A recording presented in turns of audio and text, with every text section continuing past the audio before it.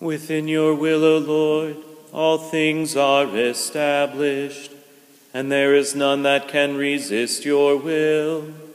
For you have made all things, the heaven and the earth, and all that is held within the circle of heaven. You are the Lord of all. In the name of the Father, and of the Son, and of the Holy Spirit.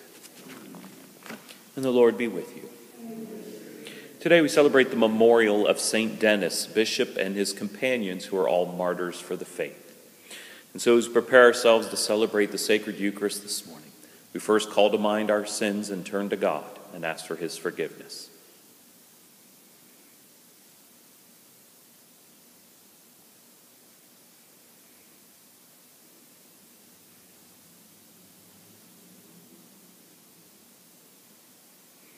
Lord Jesus, you came to reconcile us to one another and to the Father. Lord, have mercy. Lord Jesus, you heal the wounds of sin and division. Christ, have mercy. Lord Jesus, you intercede for us with your Father. Lord, have mercy. May Almighty God have mercy on us, forgive us our sins, and bring us to everlasting life. Let us pray.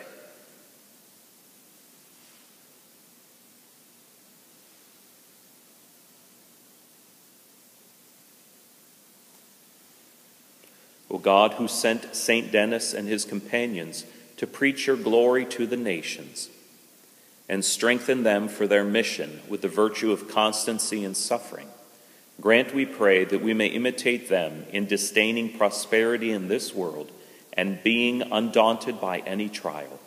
Through our Lord Jesus Christ, your Son, who lives and reigns with you in the unity of the Holy Spirit, one God forever and ever.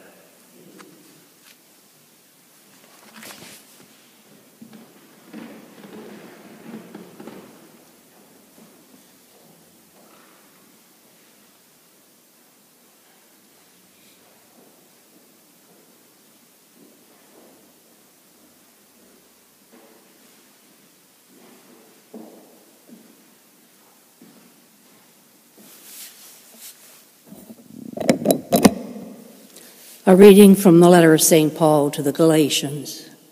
Brothers and sisters, realize that it is those who have faith who are children of Abraham. Scripture, which saw in advance that God would justify the Gentiles by faith, foretold the good news to Abraham, saying, Through you shall all the nations be blessed. Consequently, those who have faith are blessed along with Abraham, who had faith. For all who depend on works of the law are under the curse. For it is written, Cursed be everyone who does not preserve in doing all the things written in the book of the law. And that no one is justified before God by the law is clear. For the one who is righteous by faith will live. But the law does not depend on faith. Rather, the one who does these things will live by them. Christ ransomed us for the curse by the law of becoming a curse for us, for it is written, Cursed be everyone who hangs on a tree, that the blessings of Abraham might be extended to the Gentiles through Christ Jesus, so that we might receive the promise of the Spirit through faith. The word of the Lord. Thanks be to God. Responsorial Psalm The Lord will remember his covenant forever. The Lord will remember his covenant forever. I will give thanks to the Lord with all my heart, in the company and assembly of the just. Great are the works of the Lord, exquisite in all their delights. The Lord will remember his covenant forever. Majesty and glory are his work, and his justice endures forever. He has won renown for his wondrous deeds. Gracious and merciful is the Lord. The Lord will remember his covenant forever. He has given food to those who fear him. He will forever be mindful of his covenant. He has made known to his people the power of his works giving them the inheritance of the nations. The Lord will remember his covenant forever.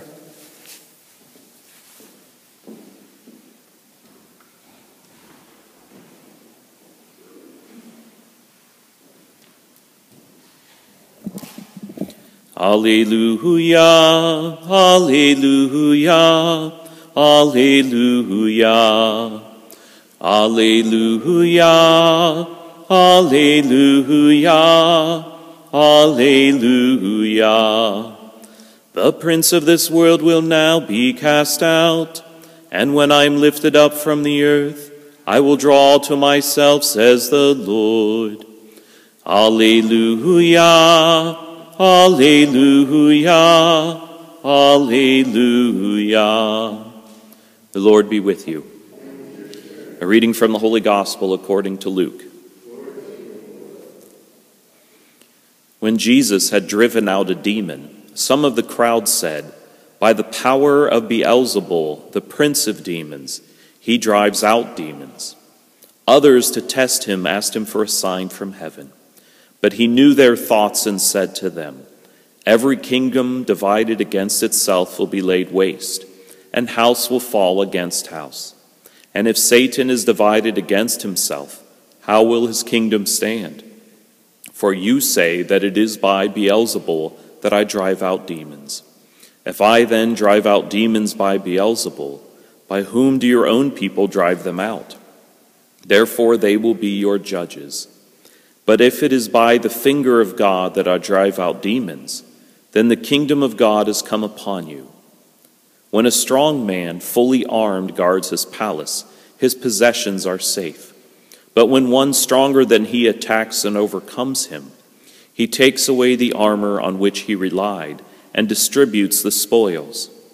Whoever is not with me is against me, and whoever does not gather with me scatters. When an unclean spirit goes out of someone, it roams through arid regions searching for rest. But finding none, it says, I shall return to my home from which I came. But upon returning, it finds it swept clean and put it in order. Then it goes and brings back seven other spirits, more wicked than itself, who move in and dwell there. And the last condition of that man is worse than the first. The Gospel of the Lord.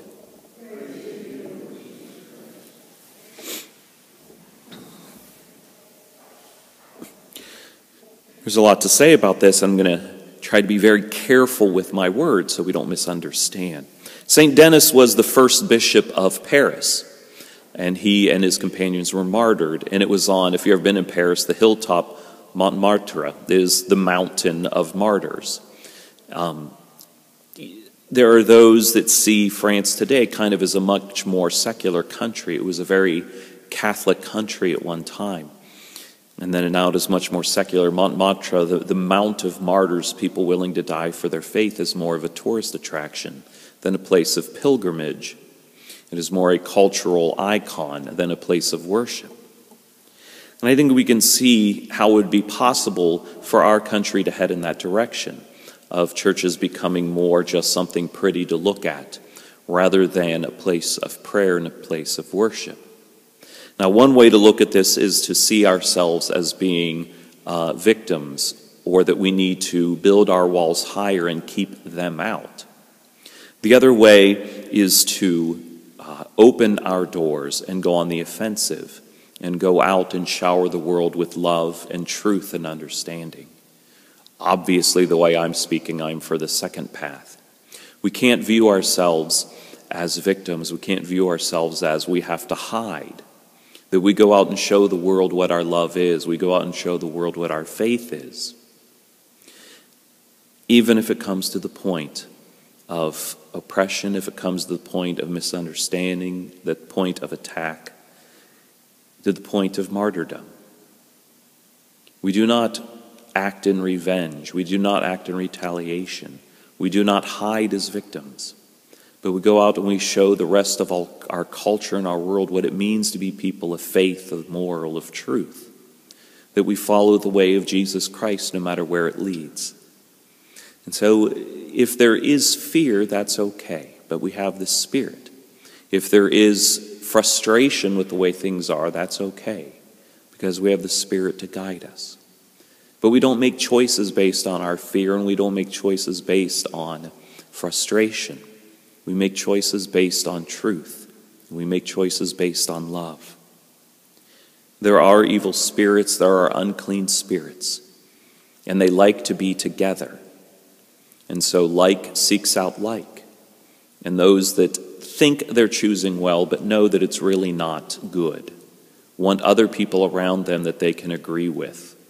And they can all agree together that what they are doing is right. But as church, we gather together, not to point the finger and accuse, but we gather together to show the way of love.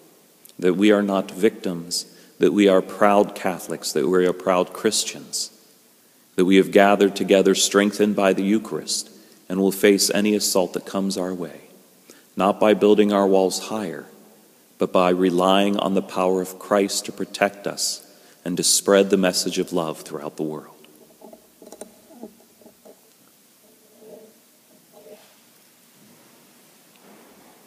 And so let us join together as the body of Christ and offer our prayers to our loving Father. For the Church, may all her members be strengthened by the Holy Spirit and the universal call to holiness, let us pray to the Lord. For government leaders, may God guide them in their efforts to protect the dignity and sanctity of life from conception through natural death. Let us pray to the Lord. For those oppressed by sin, may Christ's mercy and forgiveness bring them healing and consolation. Let us pray to the Lord. For all of us gathered here today, may the Lord bless us and make us holy in his sight. Let us pray to the Lord.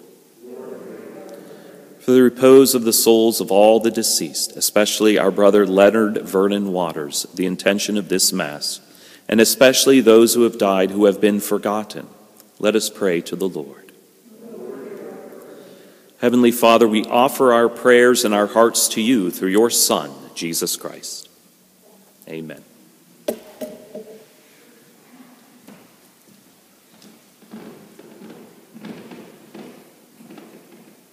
Blessed are you, Lord, God of all creation, for through your goodness we have received the bread we offer you, fruit of the earth and work of human hands. It will become for us the bread of life.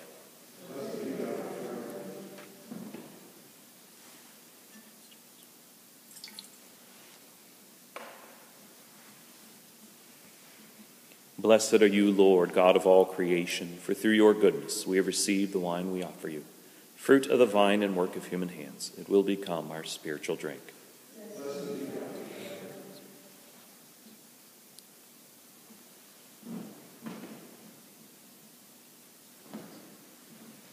Pray, brothers and sisters, that my sacrifice and yours may be acceptable to God, the Almighty Father.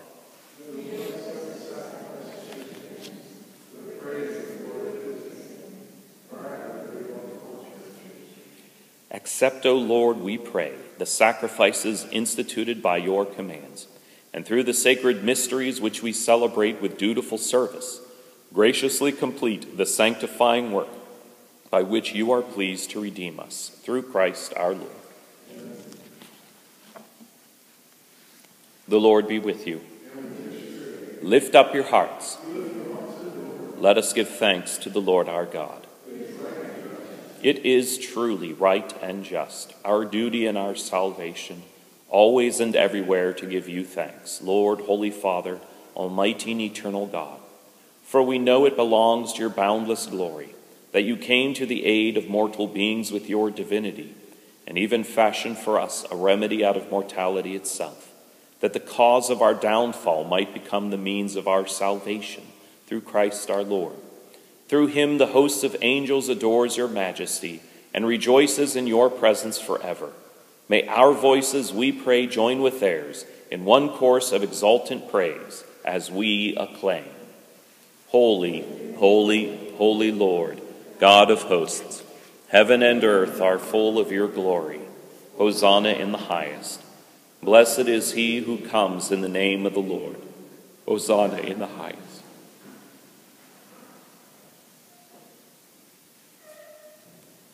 You are indeed holy, O Lord, and all you have created rightly gives you praise. For through your Son, our Lord Jesus Christ, by the power and working of the Holy Spirit, you give life to all things and make them holy.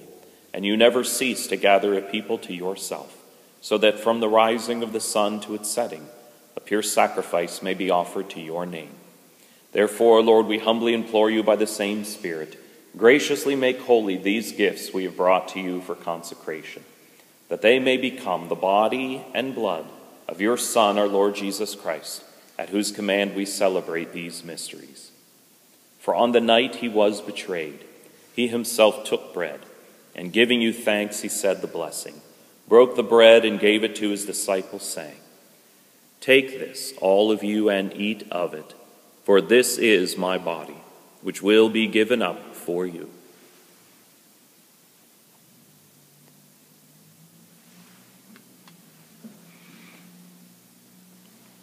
In a similar way, when supper was ended, he took the chalice, and giving you thanks, he said the blessing, and gave the chalice to his disciples, saying, Take this, all of you, and drink from it. For this is the chalice of my blood, the blood of the new and eternal covenant, which will be poured out for you and for many for the forgiveness of sins. Do this in memory of me.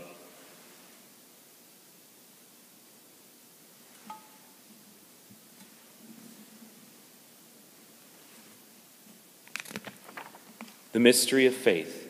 Save us, Savior of the world, for by your cross and resurrection, you have set us free.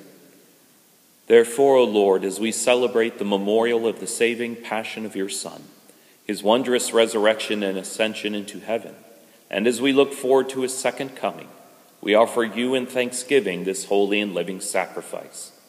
Look, we pray, upon the oblation of your church, and recognizing the sacrificial victim by whose death you will to reconcile us to yourself Grant that we who are nourished by the body and blood of your Son and filled with his Holy Spirit may become one body, one spirit in Christ.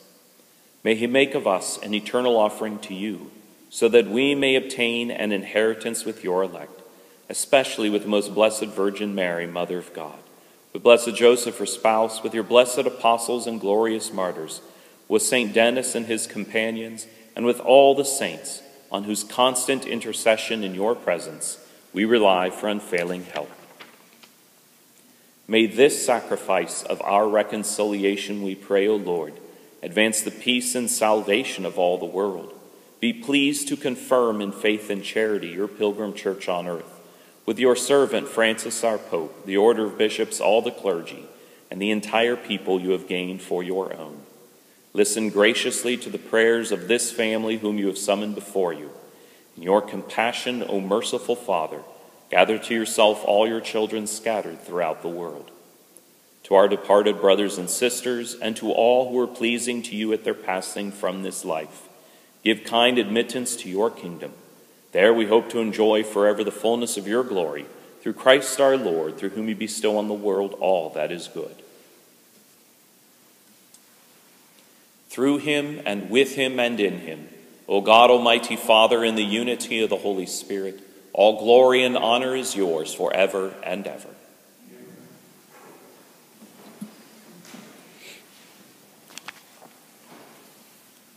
At the Savior's command, informed by divine teaching, we dare to say, Our Father, who art in heaven, hallowed be thy name.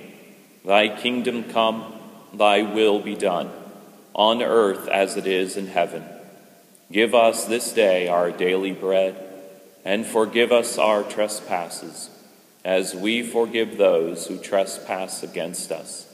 And lead us not into temptation, but deliver us from evil. Deliver us, Lord, we pray, from every evil.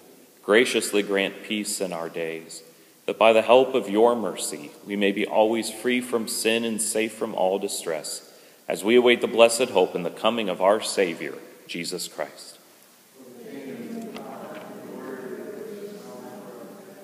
Lord Jesus Christ, who said to your apostles, Peace I leave you, my peace I give you, look not on our sins, but on the faith of your church, and graciously grant her peace in unity in accordance with your will, who live and reign forever and ever. The peace of the Lord be with you always. Let us offer each other the sign of peace.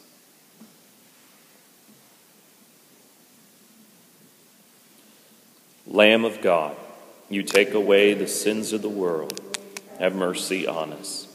Lamb of God, you take away the sins of the world, have mercy on us. Lamb of God, you take away the sins of the world, grant us peace.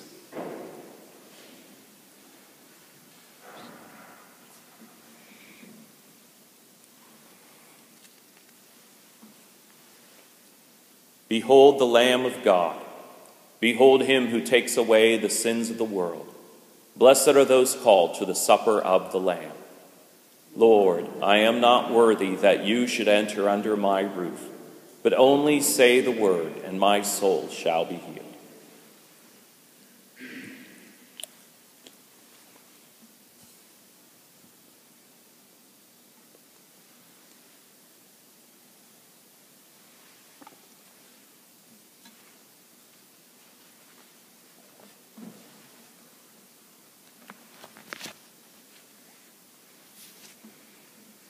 Though many, we are one bread, one body, for we all partake of the one bread and one chalice.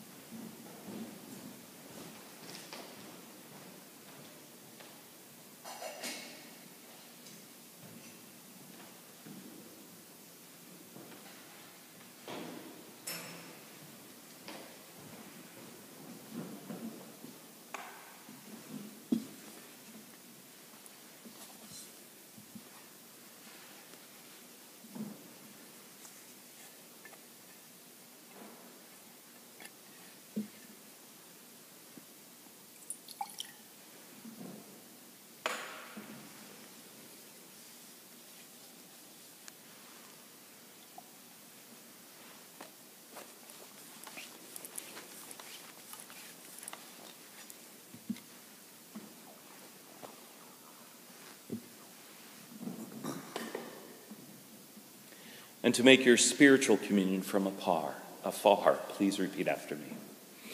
My Jesus, I believe that you are present in the most blessed sacrament.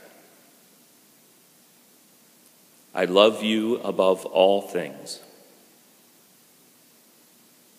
and I desire to receive you into my soul. Since I cannot now receive you sacramentally, come at least spiritually into my heart. I embrace you as if you were already there, and unite myself wholly to you. Never permit me to be separated from you. Amen. Let us pray.